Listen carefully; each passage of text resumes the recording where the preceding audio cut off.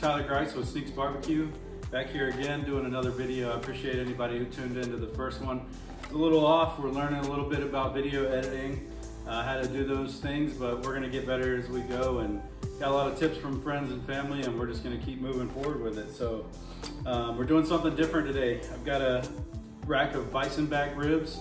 We're gonna get those on the smoker. I've got it going 225, got the super smoke setting going on the Traeger Timberline 1300. Um, don't know anything about these, never cooked them before, but I'm gonna do them kind of like I would beef ribs. So we're gonna do mustard binder. I'm using a Fire Dancer Barbecue uh, SPG, but it also has onion and butter in it.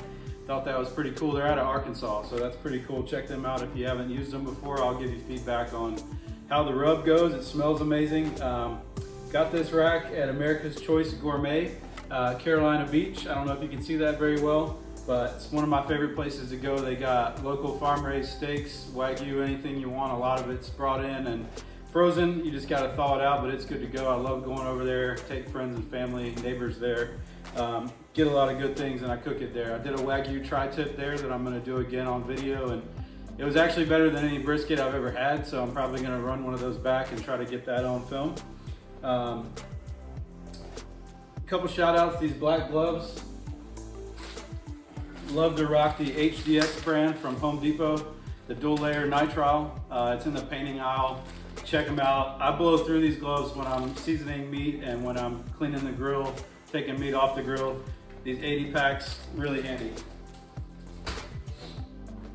All right, so I'm gonna get going on this. I'm gonna put a little mustard binder on it.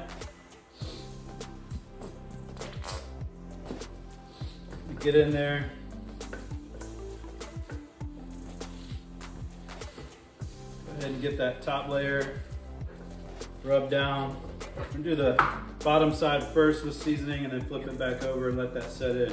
Now this does have a big membrane on it and anytime I'm doing pork ribs or anything like that, we're always gonna wanna peel that membrane off. The easiest way to get that started on pork ribs or anything is either using a knife or a spoon, dig up underneath it, take a dry paper towel and then just pull that thing all the way back off of it. Uh, with beef ribs and ribs like this, we're gonna leave it on just to help keep that meat intact, um, help those cook a little bit better. Um, so I'm not gonna mess with this one today and we're just gonna see how it turns out. So I'm gonna go ahead and get a nice even coating on here. This has some really nice pepper in it.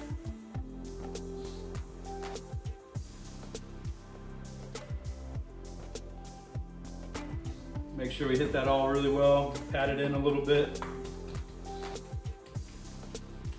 Again, smells amazing. I think it'll be really good on this bison. Bison is pretty close to beef flavor in my opinion. It does have a little more gaminess to it, but um, we're gonna find out on these beef back ribs. I do see a little bit of silver skin that they've removed as much as they could for us in the pre-cut. So um, not, i didn't really trim these much, left a little bit of fat on them as you can see here, but we're gonna roll with it as is and just cook them and see how they go.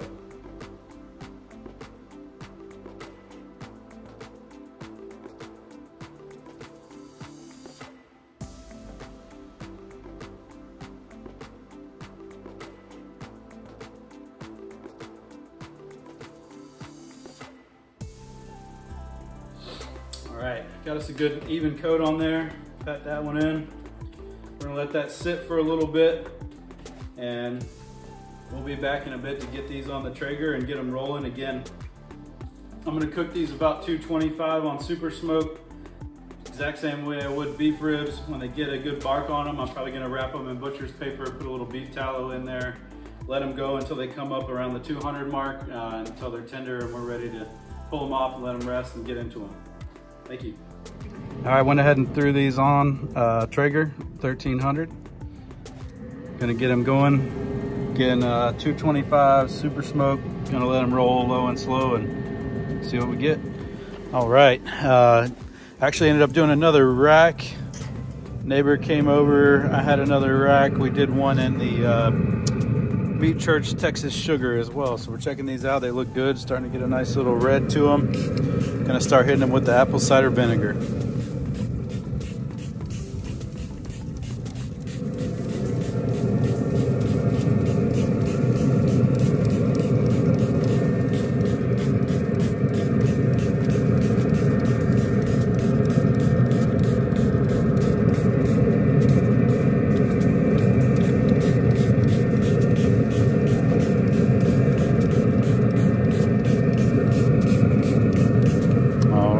Shut them down, let them roll. All right.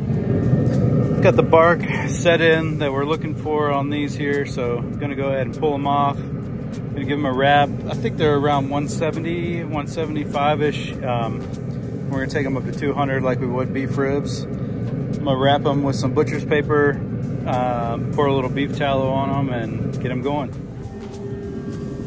All right.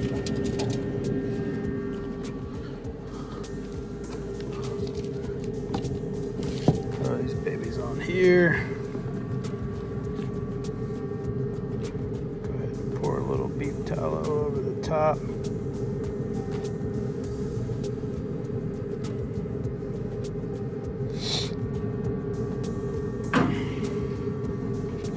Get these wrapped up. All right, we got these babies wrapped back up fully. Got a probe in them. Let them roll to around 200 and check them out. All right, so we let these racks cook up to temp.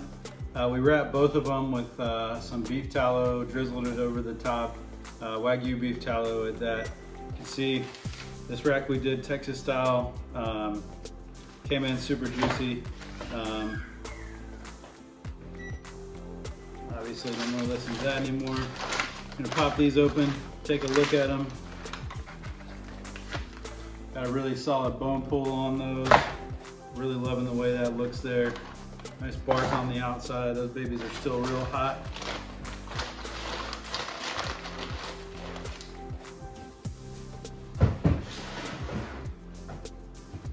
see what this other rack looks like here.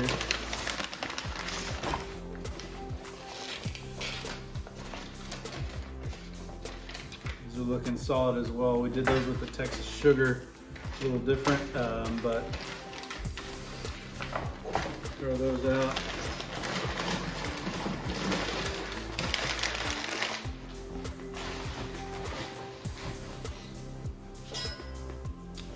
Go ahead and cut one of these off here. See what we got looking like on the inside.